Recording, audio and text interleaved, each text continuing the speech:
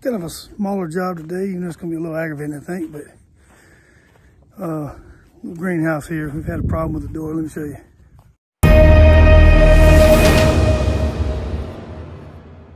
So our greenhouse, you know, we, we get a lot of wind blowing coming through here real hard. And it even pushed this greenhouse last year a little bit, the whole thing.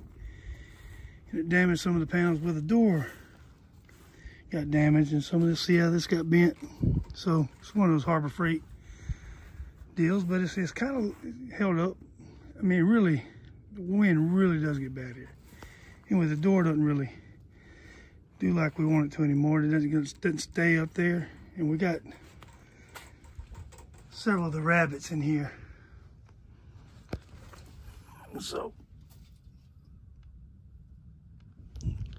yeah, got two in there and one in there, mom, another mama rabbit in there. So it gets hard to get in and out of here to feed them. I mean, we do it, Carrie does it every day, but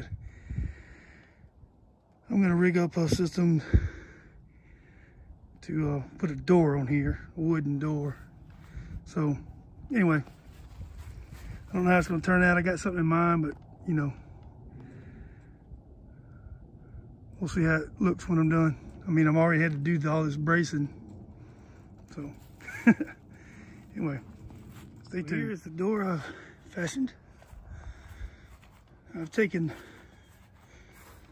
these panels out of the old door frame here and put them in there and built the door and I got my little nifty latch here.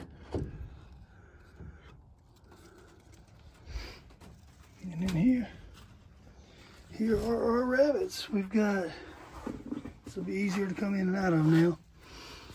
Let's see. So there's two babies in there. They're not, they're still babies, but they're probably about four months old now. And then we got their mama, which is right there. and pretty sure she's pregnant. So that's why we moved her out of the cage with the buck and hopefully in the next 10 days or so, we will have some more rabbits. So I got it attached here to this other frame I got going around here.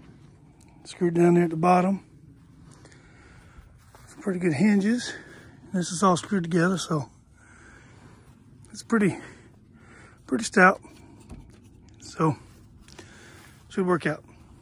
Anyway, it's a small project, but just thought I'd show my rigging this thing up. We've got this greenhouse and it was pretty cheap, you know, Harbor Freight greenhouse. And it's held up. It's really, the wind, I can't really fault the greenhouse because the wind really gets high rolling through here. So it was able to withstand pushing the whole thing a little bit.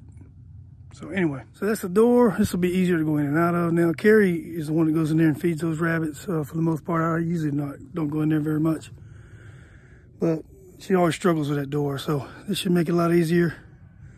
And uh, anyway, it's a little small thing around the farm needed doing.